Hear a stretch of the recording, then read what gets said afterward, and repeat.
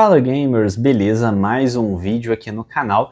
Pessoal, hoje estamos aqui para o segundo Lima Responde. E para quem não sabe, esse daqui é o novo quadro aqui do canal que vai ao ar toda primeira sexta-feira do mês, no qual eu abro uma caixinha de perguntas no Instagram e também crio uma publicação aqui no YouTube na segunda-feira anterior. Então separei aqui perguntas focadas no canal, também no futuro do canal, em jogos, consoles e também sobre mim, beleza? Então assim, não se preocupe, porque quem eu não responder aqui em vídeo, depois vou lá responder um por um, principalmente quando se trata de alguma dúvida né, sobre algum console ou algum problema que teve em algum tutorial, beleza? Então, sem mais delongas, vamos lá. Primeira pergunta aqui então foi do Douglas. Fala Lima, você não coleciona cartuchos de Super Nintendo? Cara, coleciono sim, não é o meu foco atualmente, na verdade tem um bom tempo, né, que não é o meu foco.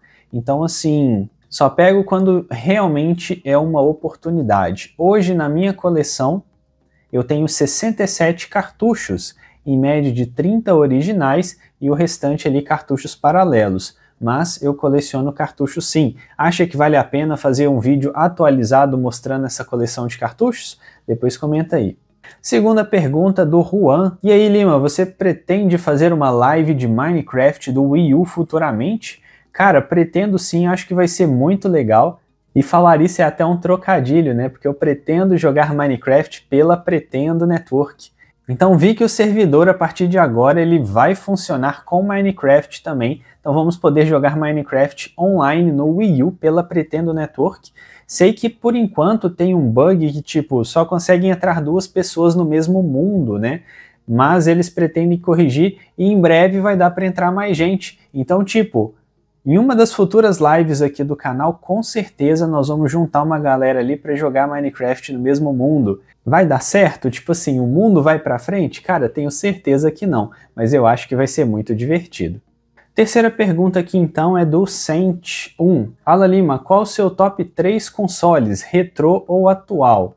Cara, eu diria que assim, o meu console preferido mesmo é o Nintendo 64, exatamente por todas as lembranças, né, durante a minha vida. Foi o console que eu mais joguei na minha infância ali, então jogava em casa, eu tinha o meu, passei muito tempo jogando com meu pai também, com vários primos, alguns também tinham, então assim, a gente jogava muito, conversava muito sobre todos os jogos, diria que é o meu preferido.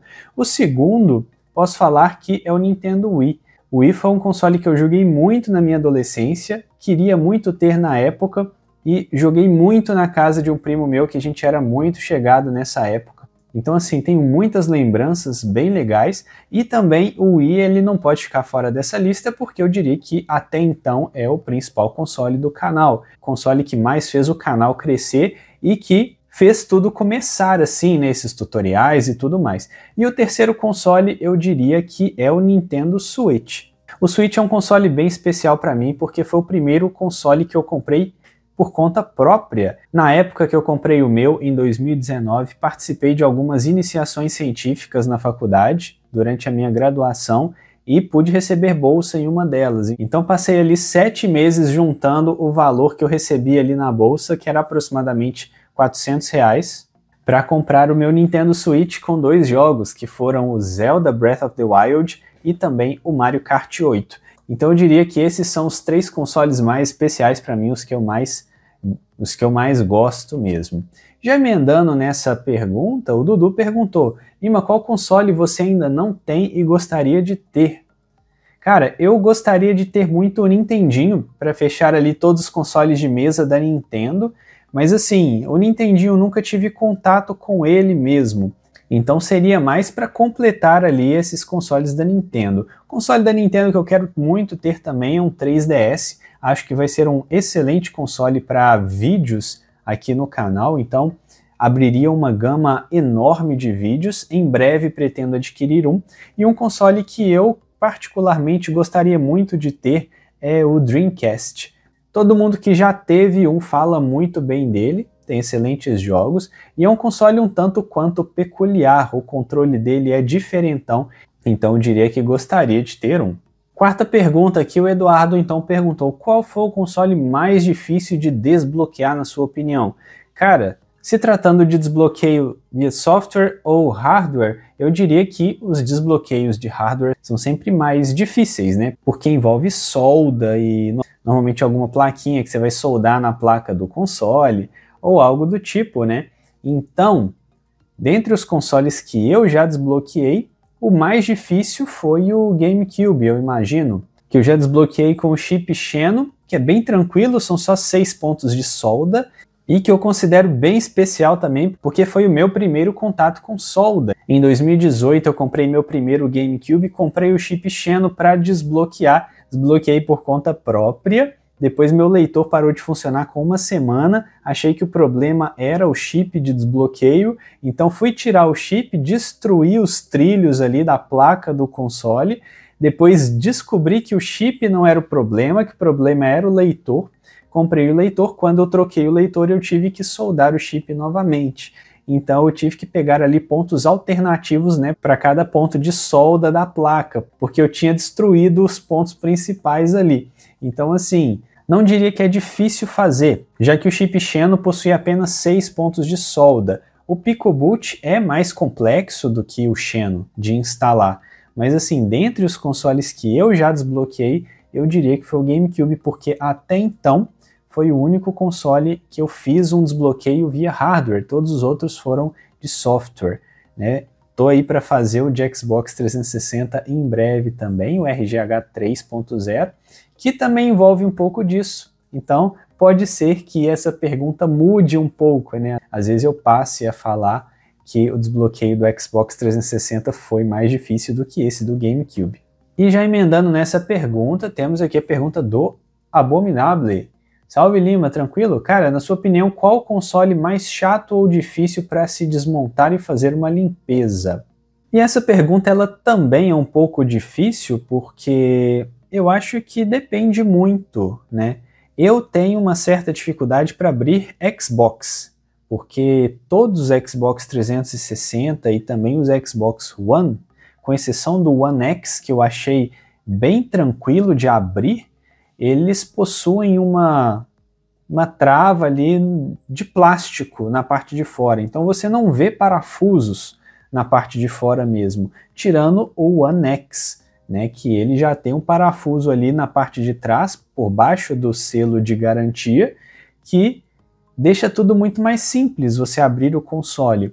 Mas você pega o 360 Fat, o Slim, o Super Slim, o One Fat e o One S, a primeira coisa que você tem que fazer é tirar ali algumas travas da carcaça. Então, tipo, você tem que ir ali com uma palheta, com uma chave no local certo, fazendo a força numa direção para destravar aquela peça para conseguir tirar. Tipo, quando você acostuma e vira uma prática, passa a ser mais fácil. Mas normalmente são os consoles mais difíceis de você começar a abrir, esses Xbox. Agora, se você quer um console chato, eu diria que o Wii e o Wii U são chatos. Eles não são difíceis de abrir, eles são chatos porque eles não seguem um padrão. Então tem um parafuso de um tamanho aqui, só que o do outro lado ele é de um tamanho diferente. Então um lado não é igual ao outro. E aí, tipo, você usa 3, 4, 5 chaves diferentes porque ele tem 10 tipos de parafusos diferentes. Então, assim, eu diria que o Wii e o Wii U, em relação a ser chato de abrir, eles estão iguais ali. Sem contar que esses dois, eles possuem um adesivo por cima do parafuso. E na hora que você tira o adesivo, depois você não consegue colar de volta, que ele meio que perde a cola ali. Então, dependendo, fica sem e o console fica feio, né? Então, isso é complicado em relação a esses dois consoles. O João Pedro perguntou: como é sua rotina como cirurgião dentista? Eu já vi aí nas respostas que tinham algumas outras pessoas que também não sabiam que eu era dentista. Falei isso no vídeo de Face Review, falei isso no último Lima Responde também, mas não tem problema. Cara, minha rotina é o seguinte: hoje eu trabalho numa clínica particular e eu faço tratamento de canal, basicamente isso, endodontia, né? Então eu terminei minha graduação, cinco anos, fiz dois anos de mestrado, agora eu estou fazendo mais dois anos de especialização nessa área de endodontia. Já passou aí um ano, tem mais um ano pela frente. Né? E assim, como que é a minha rotina? Como é um trabalho muito específico, eu acabo trabalhando relativamente pouco, Porque assim, você pega um pouco da área de prevenção. O paciente que fez a limpeza seis meses atrás, hoje ele está voltando para fazer de novo. Daqui seis meses ele vai voltar para fazer de novo. Agora, o tratamento de canal não. Você faz uma vez e resolveu o problema. Então você fica aguardando algum paciente ter um problema que precise do seu trabalho. É basicamente isso. E eu costumo trabalhar mais à tarde. Então tem semana que eu vou três, quatro vezes para o consultório, tem semana que eu vou uma vez, tem semana que eu não vou. Tudo é muito relativo. E assim, eu poderia procurar outros locais para trabalhar também para encher minha agenda? Poderia. Mas hoje, com o canal já tendo um crescimento interessante e também com a UPay Games, que demandam ali bastante tempo, principalmente o canal que eu posto vídeo aqui todos os dias, eu acho isso muito bom, porque eu já considero esses dois como minha fonte de renda principal e a odontologia, pelo fato de não ser algo estável ali, né, por variar muito, aí cada paciente que eu atendo eu já considero como um extra. Só que com certeza é algo que eu não deixo de lado porque é a minha profissão e eu pretendo ser professor futuramente. Vamos para a sexta pergunta. O Space BRGD perguntou qual o seu jogo favorito de PlayStation 2? Cara, você foi logo no console que eu não sei. PlayStation 2 eu joguei muito na época na casa de dois tios.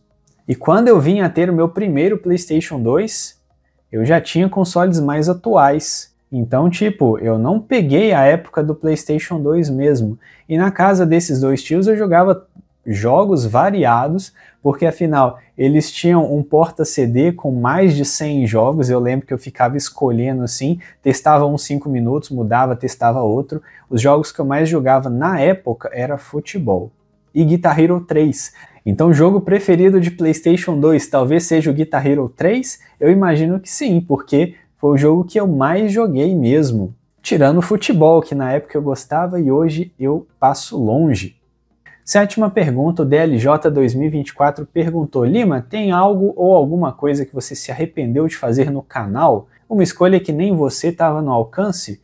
Cara, que eu fiz, eu acho que não. Até mesmo porque tudo que a gente faz e dá errado serve como aprendizado também, né? Mas coisa assim que eu mudaria mesmo, eu acho que não. É, se nessa pergunta tiver incluso aí coisa que eu não fiz e que eu poderia ter feito, que eu gostaria de ter feito, talvez começar o canal antes. Eu sempre gostei de fazer tutoriais e tipo, eu acho que eu comecei um pouco tarde demais essa questão dos tutoriais, porque tipo, primeiro vídeo do canal postei em 2018, se não me engano. Eu postava um vídeo de coleção, um vídeo de caçada que eu fazia só de vez em quando, juntava um pouco ali para fazer aquela caçada, tinha poucos itens, a coleção ia crescendo ali de certa forma na época. E aí, o primeiro vídeo que eu fiz no canal que mudou completamente a trajetória, que eu comecei ali os vídeos de tutoriais, foi um vídeo de dicas que você faz na caixinha de pilhas do controle de Xbox 360 que podem fazer o controle voltar a funcionar. Então, tipo, esse vídeo eu postei dia 22 de fevereiro de 2022. Tem aí menos de dois anos e meio, né? Então, lembro que não tinha nem 150 inscritos na época, mesmo tendo postado ali uns 40 vídeos nos últimos dois anos. Desde então comecei a postar vídeo e o canal começou a crescer relativamente bem. Então, se eu me arrependo de alguma coisa, talvez de não ter começado antes.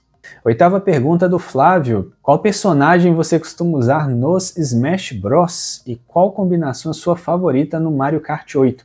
Cara, é, Smash Bros é um jogo, eu não sou fã de jogo de luta. Mesmo Smash Bros sendo um jogo mais de diversão, assim, para todos os públicos, né? Eu lembro que quando eu mais joguei Smash Bros foi no 64, e lá eu sempre usava o Link. E isso porque eu gostava muito do Zelda Ocarina of Time. Pegava o Link por conta disso, não porque tem alguma combinação diferente e tudo mais. E no Smash Bros Ultimate do Switch, eu ficava, entrava numa batalha, fechava o jogo, entrava de novo para liberar outro personagem, fechava de novo, não sei se ainda dá para fazer isso. Eu usava a Zelda. Foi a personagem que no pouco que eu joguei, era que eu mais tinha facilidade para liberar os outros personagens ali. Então eu usava a Zelda nesse jogo. Agora, combinações e tudo mais, tá em um jogo que eu não sou muito chegado. E qual combinação sua favorita no Mario Kart 8? Cara, eu tenho costume de jogar com Donkey Kong, normalmente mais, normalmente personagens mais pesados, né? Tem uma aceleração menor e uma velocidade máxima maior. Isso nem sempre é muito bom, porque tem fases, tem muitas curvas, você bate, perde velocidade, aceleração lenta pode te prejudicar.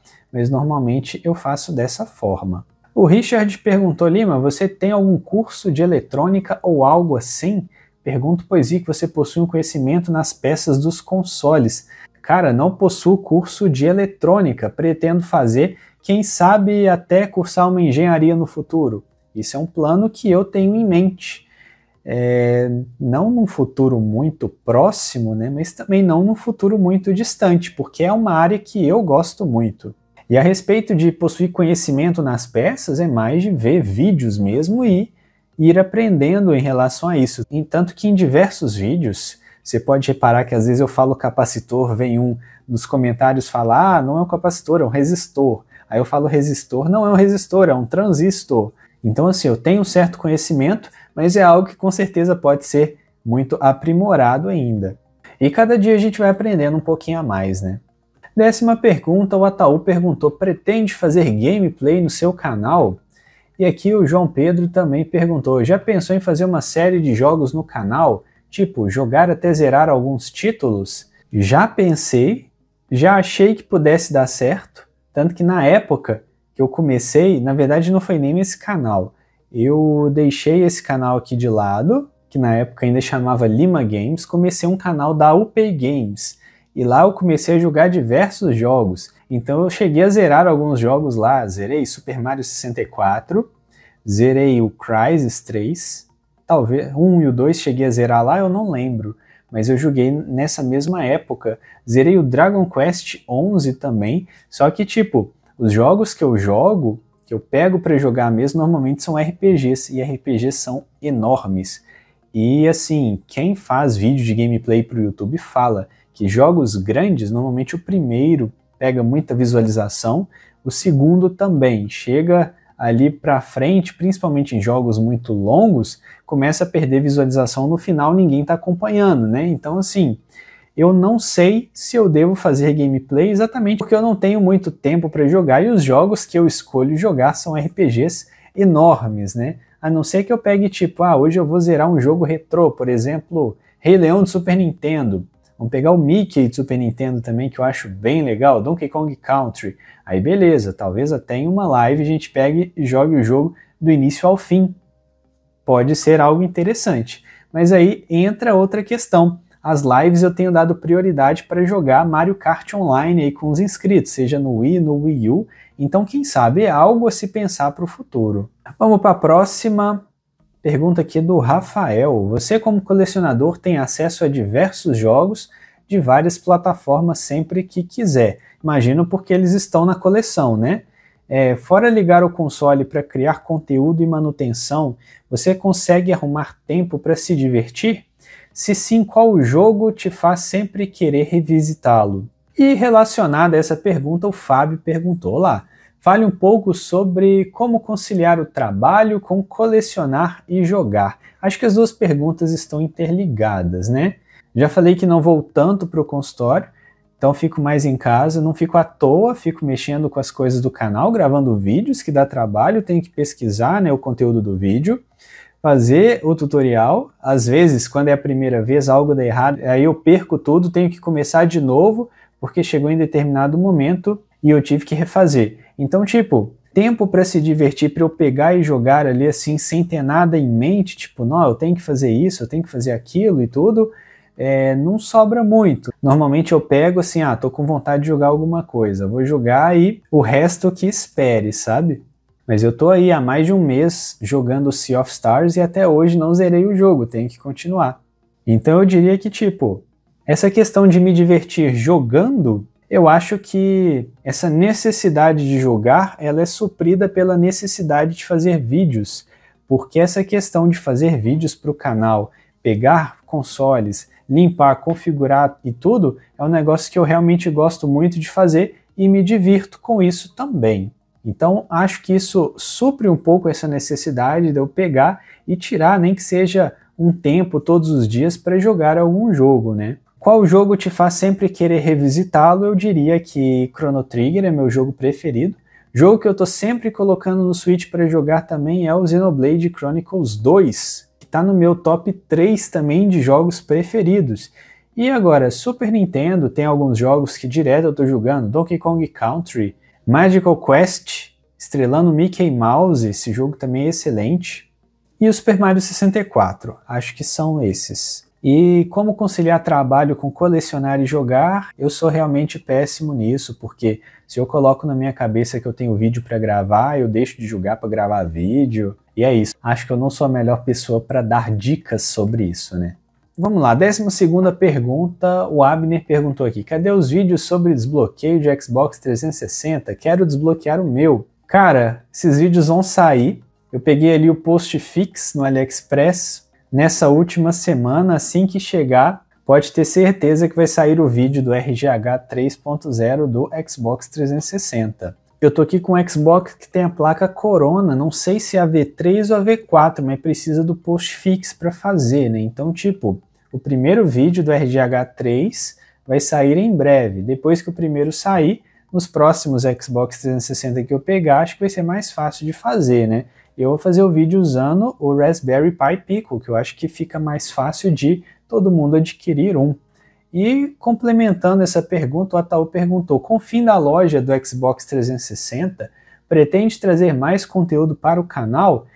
Pretendo trazer, não por conta do fim da loja do Xbox 360, né? Esse vídeo do RGH 3 já está para sair tem um bom tempo, no início do ano passado, eu e o inscrito Natan, a gente comentava sobre isso e até hoje não saiu. Então tem bastante tempo que a gente está com isso em mente, mas é isso aí, acho que agora vai.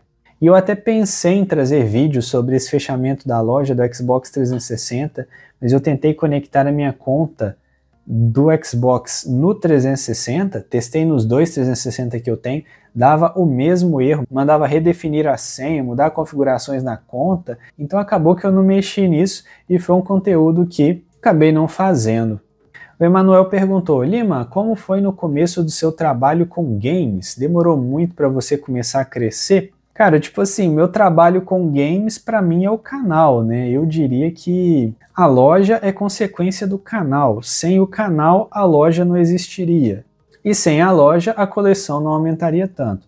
Então, tipo, eu não pretendo pegar, eu não pretendo pegar o Pay Games e crescer muito também a ponto de abrir filiais e tudo mais. A intenção mesmo é ficar de olho em itens que me interessam, pegar e aqueles que eu já tiver, passar para frente, para eu poder pegar outros itens no futuro. Né? Então, tipo, é, se demorou para começar a crescer, depois que você começa a vender nas plataformas e tem uma avaliação positiva ali dos compradores, a própria plataforma de venda começa a te recomendar mais. O verdinho no Mercado Livre, ter ali algo próximo de 5 estrelas no Shopee, isso daí já te dá credibilidade. Então, tipo, no início nada é fácil, mas aos pouquinhos a gente vai conquistando terreno nisso também, né? Décima quarta pergunta, o Courrier perguntou: Gostaria de saber se você é casado e ou tem filhos? Se sim, seus filhos gostam de jogar nos seus consoles?